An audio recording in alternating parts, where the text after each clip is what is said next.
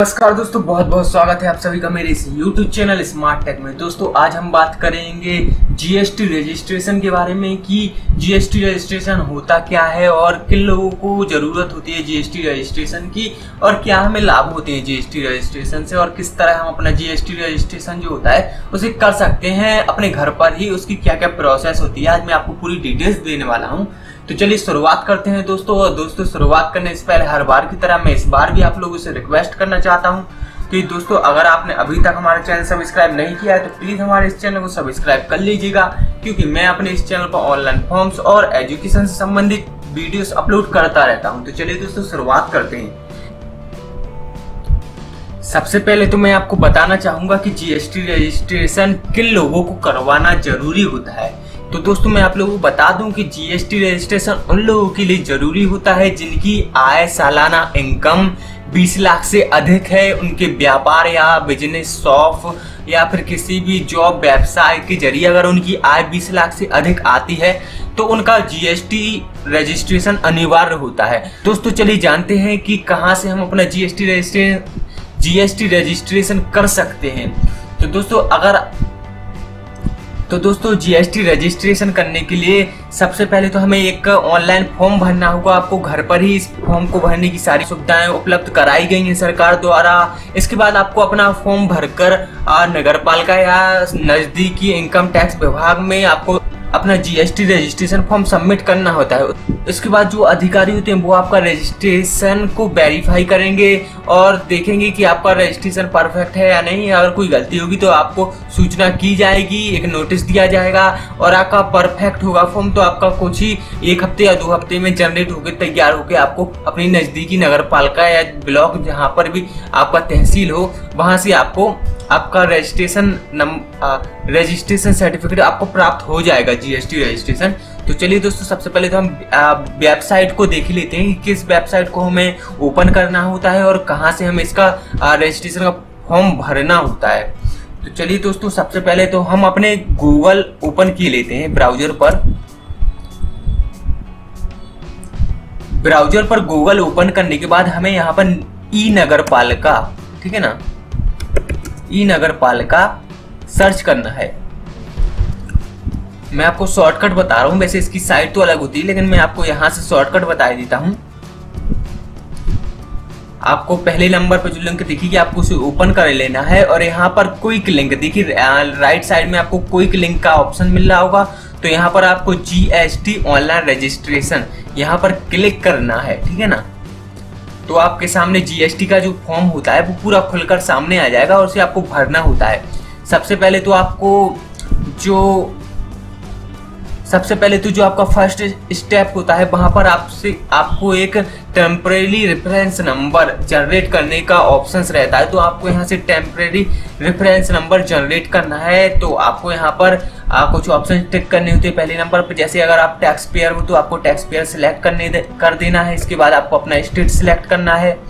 State select करने के बाद आपको अपना आ, जिला या तहसील जो भी आपको सिलेक्ट करना है। इसके बाद आपको अपना पैन कार्ड पर लिखा हुआ नाम, ठीक है ना? कैपिटल अक्षरों में जो पैन कार्ड पर सही नाम लिखा होता है, वही आपको यहाँ पर डालना है। अगर आपके संस्था का है पैन कार्ड तो आपको संस्था का नाम डालना है, और आपका पैन कार्ड है तो आपको अपना नाम डालना है, ठीक है ना? तो आपको यहाँ पर अपना सही नाम डाल देना है। इसके बाद आपको यहाँ पर पैन कार्ड नंबर डालना होता है ठीक है ना? इसके बाद आपको अपनी ईमेल आईडी जो आपकी करंट में ईमेल आईडी चालू हो उस ईमेल आईडी को डाल देना है। इसके बाद आपको यहाँ पर मोबाइल नंबर डाल देना है। मोबाइल नंबर डालने के बाद आपको यहाँ पर पिक्चर कोड दिख रहा होगा जैसे कि पिक्चर कोड यहाँ पर दिख रहा है दो तीन नौ चार आठ तीन। और आपकी समझ ना आए तो आप यहाँ पर रिफ्रेश कर कर दूसरा भी कोड देख सकते हो जैसे कि नौ छः आठ नौ आठ सात ठीक है ना? तो यहाँ पर आप आ, पिक्चर पिक्चर को डालोगे और प्रोसेस कर दोगे। तो आपके पास एक कन्फर्म करने के लिए ऑप्शन आएगा तो आप कन्फर्म करोगे। तो आपके पास आपके मोबाइल नंबर और करंट ईमेल आईडी पे, जो कि आपने अभी डाली थी ईमेल आईडी और जो कि अभी आपने मोबाइल नंबर डाला था, उन दोनों पर ही एक पासवर्ड प्राप्त होगा, ठीक है ना? तो उन उन दोनों पर ही अलग अलग ओ प्राप्त होगा। ओ मतलब वन टाइम पासवर्ड ठीक है ना? जो कि दस मिनट के लिए वैलिड होता है। तो उसे आपको डाल देना है। दोनों की ईमेल आईडी का ईमेल आईडी की जगह पे पासवर्ड डाल देना है और मोबाइल का ओटीपी मोबाइल की जगह पे डाल देना है ठीक है ना? और प्रोसेस कर देना है। तो आपके पास एक टेम्परेरी रेफरेंस नंबर आपका जनरेट हो जाएगा, जो कि आपका पंद्रह दिन के लिए वैलिड होगा, ठीक है ना? तो इन पंद्रह दिन के अंदर अंदर आपको आपको सबसे पहले अपना फॉर्म खोल कर देखना है और देख लीजिए किन किन चीज़ों की ज़रूरत पड़ रही है, आपको किन किन चीज़ों की ज़रूरत पड़ेगी। इसके बाद आपको वही चीज़ों का अरेंजमेंट करके और और पंद्रह दिन के अंदर अंदर आपको फॉर्म आपका सबमिट करना होता है। अगर आप पंद्रह दिन के अंदर अंदर अपना फॉर्म सबमिट नहीं करोगे तो आपकी जो रेफरेंस नंबर होता है वो आ, उसकी डेट एक्सपायर हो जाएगी और वो काम नहीं करेगा। तो आपको दोबारा रेफरेंस नंबर जनरेट करना होगा ठीक है ना? तो तो मैं आपको डायरेक्ट लॉगिन करके दिखाई देता हूँ ठीक है ना? क्योंकि मैं अपना पहले से ही रेफरेंस नंबर जनरेट कर चुका था तो मैं आपको लॉगिन करके दिखाता हूँ ठीक है ना? लॉगिन करने के लिए हम यहाँ पर temporary reference number T R T R N पर क्लिक करेंगे और यहाँ पर हम अपना रेफरेंस नंबर डालेंगे और यहाँ पर पिक्चर आईडी डालेंगे, ठीक है ना?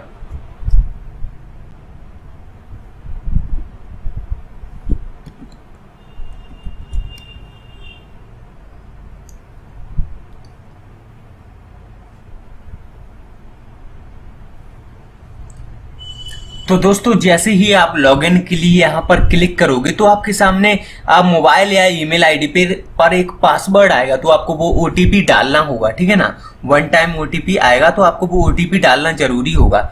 जैसे कि मैं अभी ओ डाले देता हूँ, और यहाँ पर प्रोसेस कर दीजिएगा ओटीपी मतलब वन टाइम पासवर्ड जैसे कि मैं बता चुका हूँ। तो यहाँ पर डालने के बाद, जैसे ही आप प्रोसेस करोगे तो इस तरह का कुछ पेज आपके सामने खुलकर सामने आएगा, ठीक है ना?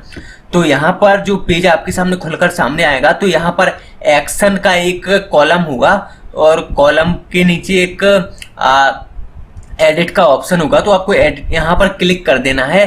तो आपके सामने आ, जो फॉर्म की फुल इंफॉर्मेशन होती है डालने के लिए वो आपके सामने खुलकर सामने आ जाएगी। तो जैसे ही ये इंफॉर्मेशन आपके सामने आ जाए तो आपको यहाँ पर सारी जो डिटेल्स होती है डालने के लिए वो आपको डाल देनी है। ठीक है ना? जैसे कि मैंने बोला था कि आप पहले भी चेक कर सकते हो कि किन किन चीज़ों की ज़रूरत पड़ेगी हमें।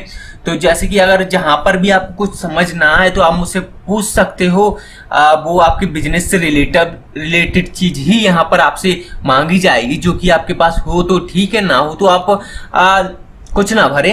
जहाँ पर स्टार लगाओ जैसे कि डिस्ट्रिक्ट पर यहाँ पर स्टार लगाए वही कॉलम भरनी ज़रूरी होती है। और जहाँ पर आ, जहाँ पर आपकी ज़रूरत नहीं होती कि कुछ भी डिटेल्स भरने की, वो चीज़ ना भरे, ठीक है ना? तो जैसे कि यहाँ पर आपको ट्रेड नेम ठीक है ना? तो ट्रेड नेम पर आप अपनी शॉप जैसे कि मैंने पहले ही बोला तो शॉप शॉप का जो नाम है, आप वो डाल सकते हो। और नाम वगैरह नहीं है तो आप यहाँ पर, आप बिज़नेस का नाम वगैरह कुछ नहीं है तो आप यहाँ पर अपना नाम डालकर, यहाँ पर यहाँ पर अपना, आप बिज़नेस का टाइप सिलेक्ट कर सकते हो, ठीक है ना? तो जैसे कि आप आप प्रोपराइटर हो गवर्नमेंट गवर्नमेंट डिपार्टमेंट है प्राइवेट कंपनी है आपकी, या शॉप है, कुछ भी है तो आप यहाँ पर सिलेक्ट कर सकते हो। इसके बाद आपको यहाँ पर डिस्ट्रिक्ट सिलेक्ट करना होगा। यहाँ पर फिर आपको, यहाँ पर भी आपको डिस्ट्रिक्ट सिलेक्ट करना होगा अपना। फिर यहाँ पर आपको अपना पास का कोई एक जैसे कि मैं यहाँ पर भोपाल सिलेक्ट की लेता हूँ, जो भी आपका लगता हो। उसके बाद आपको डिवीज़न कोड सिलेक्ट करना होगा जैसे कि मैं आप यहाँ पर डिवीज़न कोड सागर सिलेक्ट की लेता हूँ। और इसके बाद आपको यहाँ पर अपना आ, जो भी आपका नज़दीकी हो आ, सेंटर उसको सिलेक्ट कर लेना है। इसके बाद आपको यहाँ पर आना है और यहाँ पर आपको देखिए यहाँ पर कुछ ज़रूरी चीज़ होती हैं, जैसे कि आपका, जैसे कि आप एक शॉपकीपर हो तो आपका शॉपकीपर का एक आपका गुमास्ता या रजिस्ट्रेशन नंबर कुछ होगा।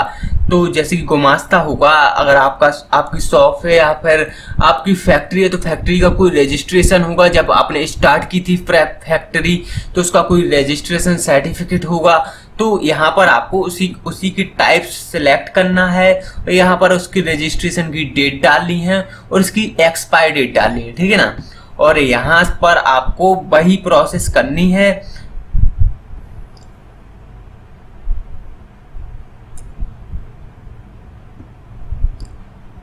और यहाँ पर आपको अपना रजिस्ट्रेशन का टाइप सिलेक्ट करना है और यहाँ पर डेट सिलेक्ट करनी है एक्सपायर डेट और वही चीज़ आपको यहाँ पर करनी है, ठीक है ना?